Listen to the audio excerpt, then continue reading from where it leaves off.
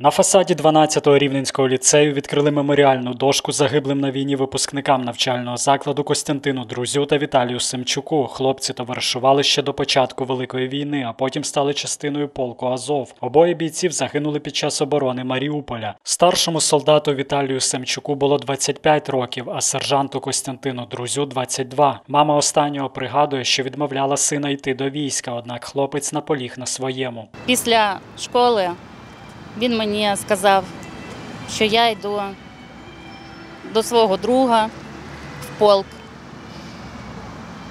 Я просила, відмовляла. Але я зрозуміла одне, що якщо я його не підтримаю, він все рівно піде. Костя та Віталій у шкільні роки були звичайними хлопцями, захоплювалися спортом, їздили на велосипедах та цікавилися комп'ютерними іграми. Олексій Козачок товаришував з обома. Після смерті своїх друзів рівнянин робить все можливе, щоб пам'ять про Костянтина та Віталія жила. Я з самого початку хотів, е, коли мінялися вулиці, хотів в їхню честь хоча б якийсь маленький провулочок, просто щоб для пам'яті. Ось е, потім прийшла ідея на рахунок муралу. Зробили дуже гарний мурал. А зараз нарешті вже дали дозвіл, щоб зробити дошку монументну.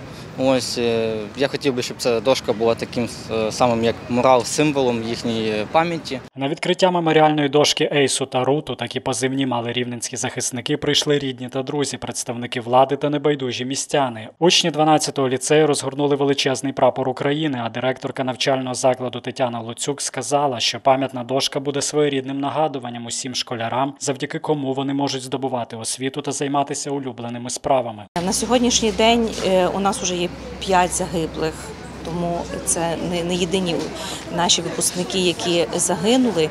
І ми підтримуємо зв'язок, підтримуємо е, в плані волонтерства з тих випускників, які зараз воюють або волонтерять. Усі присутні на заході вшанували рівненських захисників хвилиною мовчання, а після відкриття меморіальної дошки до неї піднесли квіти, як чергове нагадування, що герої не вмирають, і наше завдання зберегти пам'ять про тих, хто віддав своє життя за свободу та незалежність України. Микола Бражицький, Олексій Олексієнко, випуск новин.